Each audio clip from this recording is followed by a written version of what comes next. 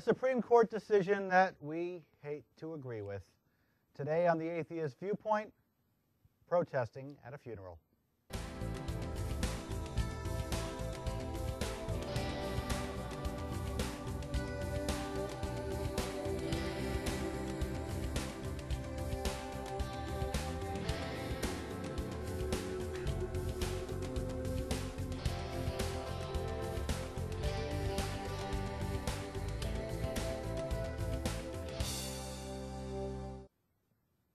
And welcome to Atheist Viewpoint. I'm David Silverman. And I'm Dennis Horvitz. And I'm Ron Barrier. Welcome back again, Ron. Uh, today we're going to talk with Ron and Dennis about uh, the Supreme Court decision that we hate to agree with.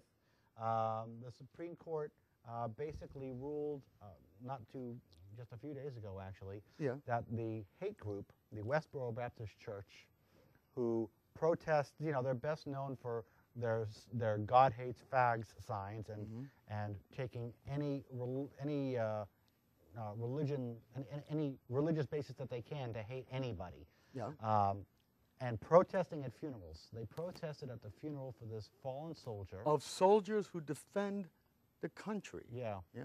And their and their statement is that it's that God is all good and God hates us all.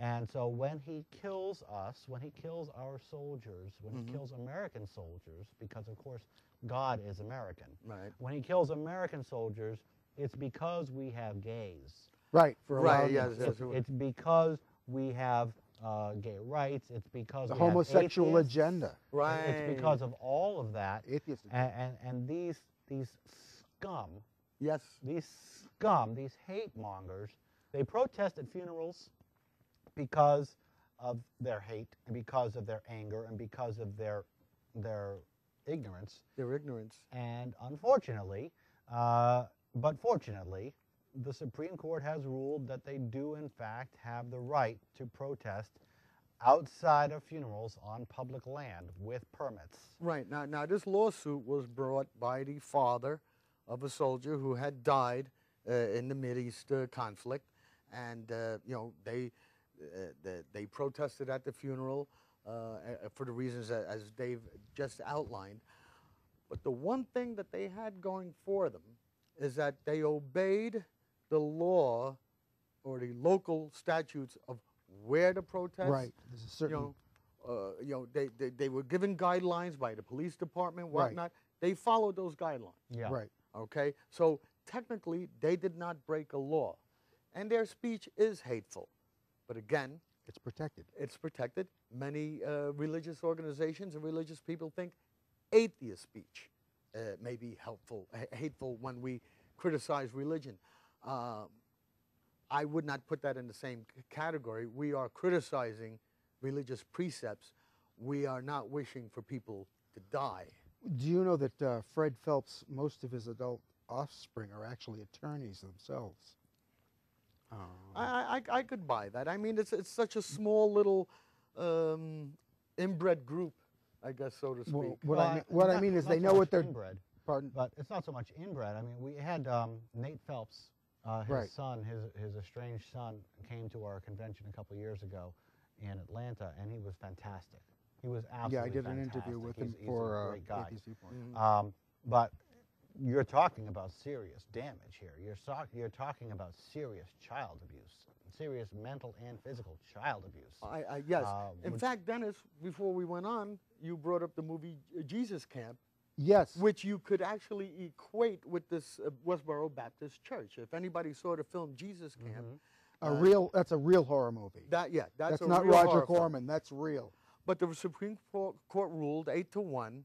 Uh, who was it? Samuel Alito that uh, disagreed. Yes. Okay, I, I disagree with him, but eight to one that their speech is protected, and Yep. that is good for everyone. Right. For you out there, for all of us, it is good for everything. That's one of the bulwarks of our society. That's right. uh, is the ability to stand up on a soapbox and espouse your opinions. And the measure of the democracy is the degree to which you will tolerate unpopular opinion. Right. Mhm. Right. And, and, and you know, it, I hate it. Okay. I hate the fact that we're having this show, having this discussion, saying yes, the Westboro Baptist Church was right, but they were. Uh, Well, and they when were- it comes they- right down to it, the, the, the answer. I don't know if they're right, but they have the right. They, They have, have the the right. right. Yeah, they have the right. The, the answer to freedom of speech is not squelching speech, it's more speech. More freedom of speech. it's That's right. more freedom. You know, letting us have this show to talk about what pieces of crap these guys at Westboro Baptist are for protesting at a funeral. Uh, Maybe we should call them Westboro Craptists as opposed to West, Westboro I like that. Baptists. That's their new name, Westboro Craptists. But, but we really should. So we they, we shouldn't Okay. lump all, uh, mu as much as we may disagree with Baptists, we shouldn't lump them all in with these lunatics. no, no, no. There are different types of Baptists. In fact, during my little uh, j- uh, journey that we talked about, I, I went to, uh, I attended a Pentecost church, Pentecostal, which scared the living daylights out of me. I ran out of there. Uh, a couple of Baptist church also, and all ran out of there because they all talk nonsense. But this is a, this is a Supreme Court decision that we should all value. Yes. It protects the right of every American citizen to be able to express yourself without fear of government censorship or repercussion. And it protects people like them from people like us. yeah. Actually, it protects people like us from people like us. And you know, and, and as I, I mentioned earlier in between shows, uh, a, a number of years ago, American atheists protested uh, the visit of the Pope, Right. the uh, Roman Catholic uh, Pope, the big man, the big boss man, to uh, uh, New York City at St. Patrick's Right. Cathedral, and we were in the middle of a sea of maybe a million Catholics or so. But had the court ruled in another way, we couldn't do that. We couldn't have been there. That's correct. And I was with the New York City Atheist contingent. Mm-hmm. And, and you know, the, the scary thing is, and, and frankly it is scary, is that Justice Alito disagreed. I don't know what was in his head, but in, in my opinion, as a layperson, as a non attorney, this is a very clean cut case. I thought so too. Yeah. I mean, when it, Yeah. when I first heard it was going to the Supreme Court, I, I, I, I said for two reasons. Number one, first of all, it's a church. They're never going to squelch the, pe- the speech of a church. Right. Uh, We- that's, we- but that's my opinion. Yeah. Uh, but number two, if you protect the speech you don't like or speech you loathe, you protect your right to That's free right. speech. So on those two things, I thought I didn't know it was going to be as unanimous as it was, but it was. But I thought it was going to be. I, I, I thought it was going to be a unanimous You did, decision. I did, and, and I and I wonder why. You know where Alito's head was when he actually said, you know, these guys should somehow lose after obeying the law and saying things. These guys didn't break any laws. They didn't. s- They didn't. They didn't. Yeah, they were hateful. But the American Nazi Party is hateful. The Ku Klux Klan is hateful. The Southern Baptist Convention is hateful. The Catholic Church is hateful. Oh, yeah. And if you ask them, we're hateful. ACLJ, Concerned Women for America, Pat can go on Robertson. and on. Pat Robertson. Um, you know, uh, I mean, here's a dope Glenn who, uh, who just talked on- about weather-related items and homosexuals also. Glenn Beck just, just talked about God sending the tsunami to Japan. It, it, it's, that's hate speech, in my opinion. Yep. But in his opinion, it's not.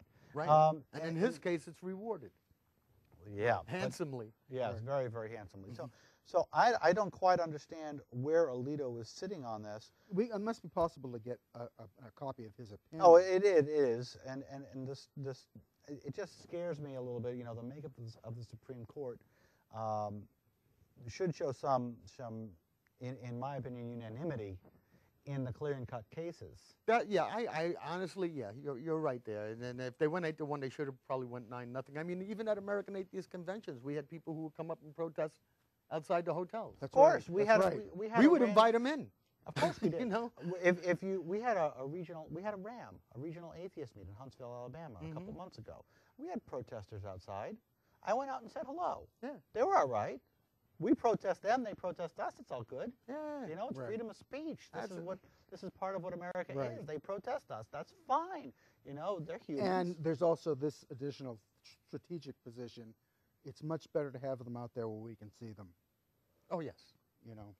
You Yeah, know, keep, but- your, keep your enemy close to your vest. Yeah. So I mean, I mean, protesting is really uh, one of the hearts of America's freedoms. Right. Okay. The right the, of the ability to protest, um, and, and I'm, I'm, I'm unhappy that Westboro Baptist Church exists. I'm unhappy with everything that they do. Mm-hmm. Uh, I'm, I'm ha- unhappy with their message and their means and their methods. But they do have the right to all of those, and Right, they are right. legal, And all they do is speak. and Right. all they do is speak. They do not abuse children. well, They do not. Uh, they don't. They don't starve their children to death. I- No. I, think Fred Phelps could be questioned as a as a father, but as a church, no. As a you know, they're they're not starving their kids to death. They're not um, ignoring their kids' health by withholding medicine. Um, uh, they're not uh, marrying their kids to other Right. children. You know what Alito's missing? Mhm. He's missing the fact that if you, you, you try to squelch or make this type of speech illegal, the frustration that would result from that type of suppression will manifest itself in another way that may not be as attractive as just speech. Right. Right, right. Right. See, their their their their speech angers me, but taking their freedom of speech terror away terrifies me. Ah. You know. Good that's- point. That's a great point, Dennis. Yeah. Absolutely. Absolutely. So, uh, yes, as American atheists, uh, we do support the right of all groups to protest, and you can protest us. Right. No biggie. That's Right. what that's what make 'em- that's what makes our country different than the others. Right. You know. Hopefully, they'll just not protest much. Well, well, actually, I no. I, I don't mind they'll- the I think protesters at all. They'll fade away. I- I, I, they'll I, fade I, away. I kind of like the whole, uh, I mean, the, the over-the-top protesters. I find them to be a source of amusement. You know, when we go out there, they are cartoonish. Oh, yeah, you know, yeah. with their big, monstrous signs and their Jesus on the cross, and they they they're they're handing out uh, tracts, the, the stereotypical Chick tracts. Ah, they're highly about- amusing. It is. I mean, it is. You know, when you when you have the perspective we have of religion, yes, they're eh, clowns. Now, I'll tell you uh, uh, a little bit of, talking about free speech. Um, we have a convention coming up in Des Moines, and for this convention, we're putting up five billboards in Des Moines. Okay, Right. the five billboards say, "You know there is no God. We know you're right." Okay, that, that's what it says. You know there is no God. We know you're right. Now, it doesn't say your God is an idiot. You're, you're stupid for believing in a God Right. which, by the way, you kind of are. Uh, it doesn't Well, say You know what? is? foolish. Foolish is the better word. Uh, it doesn't say your God is uh, um, um, barbar. Your your religion is barbaric, uh, which, by the way, it is. No. Um, it says you know there is no God, and we know you're right. And the reason that I bring this up is that we took this to the first billboard company, and I'm not going to trash the billboard company. Um, because they made a business decision. But what they said to us was Des Moines is a Christian city. And they refused that billboard. really. Yeah. And we had to go to a different billboard company to put up our billboards because the first billboard company, now this is not a separation of church and state issue, they're a private company. There's no such thing as a Christian city. No, there is no such No. thing as a Christian Not city. Legally. no, in There- fact, there, they- are, there are no Christian cities anywhere in this in this country. No Christian cities. Yeah, yeah. Um, but for them to say it uh, propagates the bigotry. Yeah. It supports the bigotry. It, it, it um, Well, they were what's thinking- the word I'm they looking were- for? legitimizes the, the hateful, the, the, the, the hatred and the bigotry. Well, they were thinking in terms of demographics, obviously. yes, of course they were thinking in terms of demographics, but also they, were- they, they were also thinking in terms of money. Of course, because they may not. They, they may have a client base that may find Would that. evaporate, basically. Yeah, that, that may be offended by that, and they don't want to lose their client base. That's right. Yeah. You know, so it's a business decision. Yeah. Has nothing to do with. I mean, with Christian City. What was it? There wasn't there a survey late last year, about, or early this year, about the holiest cities in America? I'll have to dig that up and bring it in. The, the most religious city in America is Coral, Sp- Coral Springs, Colorado. Uh, was it? Uh, Colorado Springs? Yeah, Colorado Springs. Because yeah. because uh, I oh, I, yeah. I mean, that's where all the mega churches are, Yeah. I think. Because uh, Yeah. Wichita, Kansas was considered like I think one of the top two. yeah. Oh, and Oklahoma City was in the top two, Yeah, top three. I, I got uh, And people Oklahoma City is what? Timothy McVeigh and the explosion of the federal building. Yeah. right. And Wichita, Kansas, where Randall Terry and his band of mindless thugs uh, induced and uh, terrified enough people that uh, Dr. George Tiller was shot and murdered. That's right. You know, so if this is Christian how they would def- defend holy cities, I'd rather not live there. Well, Holy cities, no. Unless it's bullet, I guess it's bullet holes. That's, Yeah, that's what yeah. they mean. Bullet, bullet holy city. Yeah, because I'm sure those are very big gun, gun cultures over there Oh, too. yeah, but and we, we don't want to trash guns. I'm a personally I'm a gun owner myself, but No, not the- trashing guns. It's people. Yeah, exactly, exactly. So, um, so we almost had our speech squelched ourselves in Des Moines, uh, and the alternatives that we were posing to this billboard company, I- proposed maybe half a dozen different alternatives. Some of them were just downright sweet, like um, American Humanist Association type billboards. Mhm. They didn't like those either. Uh, they wanted they wanted it to be. I could put it on American Atheist National Convention here in Des Moines, Iowa, 21st, 24th. That's it.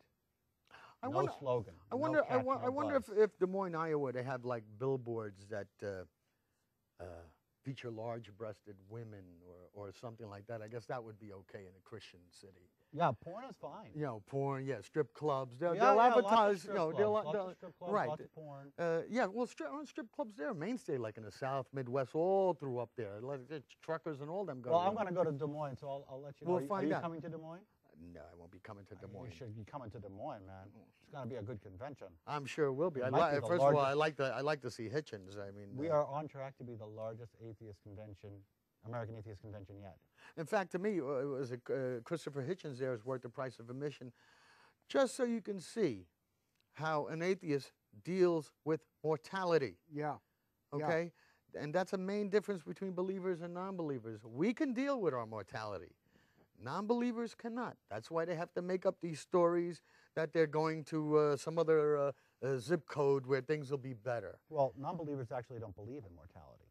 I'm sorry, believers don't believe in mortality. They don't believe in death, human death. They believe that human death isn't death, that human death is just corporeal death, and that there's a spiritual immortality. They literally don't believe in death, But they all are afraid to die. But they're Oh, all yeah. afraid to die. Absolutely. That's because I actually knew somebody who wrote a song called "Everybody Wants to Get to Heaven, but We're All Afraid to Die." Right. Mhm. Nobody wants to die. That's what. No. Nobody wants to and die. nobody And at wants. the Not even funerals- atheists want to At bu- the die. yeah. funerals, the tears come out because they know they're dead. And they say to themselves over and over, always in heaven, always in heaven. Mm, But the tears are streaming down. If they actually believed that somebody was in heaven, they should be celebrating. Oh, they should be. uh, Well, actually, some do. Actually, I, I think in New Orleans, for instance, amongst Well, the black community, That's a celebration of life. That's not a celebration that they're going to heaven. well, that's what a funeral should be, though. A celebration of the person's life. Well, yeah. I, I've yeah. been to funerals where Yeah. people's lives are celebrated. Right. Yeah, But a lot of them are have you- you- solemn, maudlin. You know, yes, you, you know, and we're not being insensitive. Uh, you've had a loss, somebody you've been It's- with. Yes, it's a way of dealing with grief. I have shed tears over losing a pet. yes, You know, your cat was awesome. it- it- you know, it- I remember your cat. What was his name? I've had a lot of them. the cool one that I liked. uh, 10 or 12 years ago. I don't know if that was Petey, the big brown, uh, the big brown uh, Yeah. snowshoe. I had Norton, who was a great I guy. think it was. I think it was Norton. I know. No, Norton? maybe it wasn't think Norton. it It was was probably. Yeah, I think it was Petey. He was just a. He was a great cat. Well, enough pussyfooting around. but, uh, But you know, bum, bum. but but you know, yes, you, you do mourn your loss. Right. Yeah. and It- it is a funerals are it's a it's closure. It's a way of coming to terms. with Right, right, right. So that's that's fine. I guess that, that that's that's part of it. Uh, I guess that makes sense. But uh, nobody is is is is is happy for the departed. They're not. They're sad. Uh, e- or and, and they're, they're they're very very sad for it, and, and Yeah, they should be because it's death. and Death sucks. It's painful. So sometimes I used to think, ironically, that I know where they're crying. They're crying because that person's problems have ended. Theirs are continuing. Yeah. You know, and Well, they're right about that, though. compounding. Uh, and it's compounded. And It- some parts it's Uh, but you know, again, uh, again, this is a somber time. Also, we we uh, uh, and you referred to in the last show. We have Japan. right. Right. Uh, what was it? Five years ago, we had Indonesia with the Right. tsunami tsunami that took a, a tsunami that took out a quarter million people from Right. that entire area around there. Uh, you know, loss is tragic. Yeah, and I get- disasters are disasters. And, Yeah. and by the way, we advise our we, we we advise our viewers uh, that if you want to help the Japanese uh, disaster relief, uh, you can give to non non-believers Uh, Non-believers giving aid. non-believers giving. Yeah, aid. you can get um, information on that at richarddawkins.net. They are going to funnel 100% of the money donated to Doctors Without Borders or the International Red Cross, secular charities that will help the homeless, not give them Bibles, but actually give them food and shelter. That's what Uh, they need, right? We are once again out of time. And uh, I wanted to thank you all for joining us at, at American Atheists. American Atheists is America's uh, premier nonprofit organization by and for atheists. And uh, we've been around since 1963. And Ron, I'm so glad that you're back with us. Thank Yes. you very Ah, thanks. being It's here. been, it is a pleasure, really. So for American Atheists, check us out. Don't forget to come to our convention. It's atheists.org slash Des Moines. Convention is April 21st to the 24th. We hope to see you there. I'm David Silverman. Dennis Horvitz. And Ron Barrier. Thanks for joining us on American Atheists, where reason reigns and reality rules.